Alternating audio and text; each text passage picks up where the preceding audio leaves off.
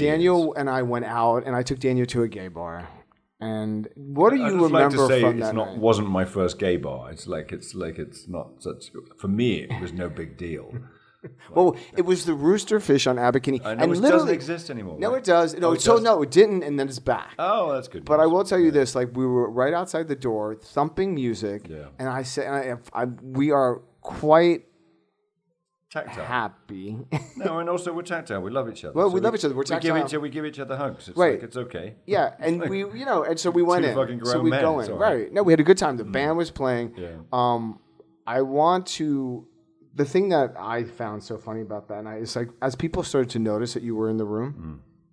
There were like these two girls down at the end of the bar that clearly were a couple, and next thing I know, one of them is standing by you and like trying to push me away, and I'm like, "Excuse me, excuse me," and then somebody else asked me if I was your manager, and I yelled at him because I was like, "What do you mean his manager?"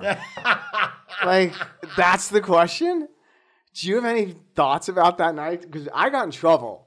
Excuse me, I got in trouble. It was, uh, you know, it's just, it was, it was for me. It was one of the situations, and and and, and the irony is, you know, we kind of got caught, I suppose, which was kind of weird because we were doing nothing fucking wrong. No, I mean we were drinking and it was. and but what happened and- is we were having a nice night, and I kind of were talking to you about my life, and Yeah. my life was changing. And we got drunk, and I was like, "Oh, fucking, let's just go to a bar. Come on, let's fucking go out." And and and it was at the time when I was not doing that. I just was not. But you know, I mean, because of what happened that night, basically, is that kind of we got busted for again for doing nothing wrong. Um, and and I just was like, I don't don't give a fuck. And we're in Venice, and I suddenly, you know, one of the reasons I wanted to move to the states, I've always wanted to move to the states, is because of the sort of California spirit, which is like, fuck it. Yeah. Everything's fine. Don't Yeah. worry about it. Every we got your back. Right. Everybody's in, eh, there was something you know magical about it, and that was there that night. Yeah. But then there was an, an asshole there. There was a couple of assholes.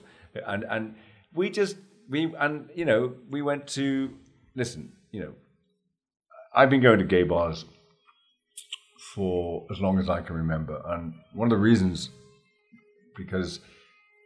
I don't get into fights in gay that often. Right. no, no, but We get don't. into a fight no, that night, yeah. No, we didn't get into a fight that night, and um, because the aggressive dick swinging in Right. hetero bars, I just got very sick of as a, as, as a as a kid because it was like I, I, I just I don't want to get I don't want to end up even in a punch up, and I did. I that would happen Right. quite a lot, Right.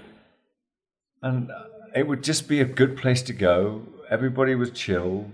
Everybody, you didn't really have to sort of state your sexuality. Right. It was okay, and it was a very safe place to be. And I could meet girls there because there were a lot of girls who were there for exactly the same reason Right. I was there. Right. So I was. It was kind of you know Right. it was an ulterior Well, motive. like right, clearly that girl might not have been a couple with that Uh, woman, sure, maybe, and but she it wasn't, was I wasn't like, there to meet girls that night, and we were kind of having We just were having doing a our- really yeah, nice, we having a nice time, Right. And it was had a great chilled, and we actually we had a lot of lovely people come up to us and talk to us, and It was a very blast. nice. It's just we went outside, and I don't know what we we had a hug outside, and somebody Yeah. called the fucking post. no. So they call What the- happened? Well, I can't remember. No, so they the call. Then we go to the chateau. We have another drink, right, okay. and then we We were getting drunk. right. We were getting drunk. We were we were out. We, Yeah. Mm. You were we were celebrating something that was happening in your life that you were really wanted to talk to Yeah. me Yeah. about Yeah, yeah. specifically, Yeah, yeah.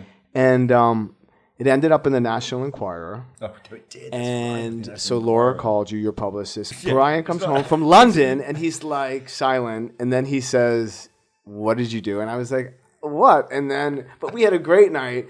And it said, I was think a it said, it was a shit storm in yeah, a it, teacup. look, it goes down. That's all it was. It a was shit storm in a teacup. Nothing more than that.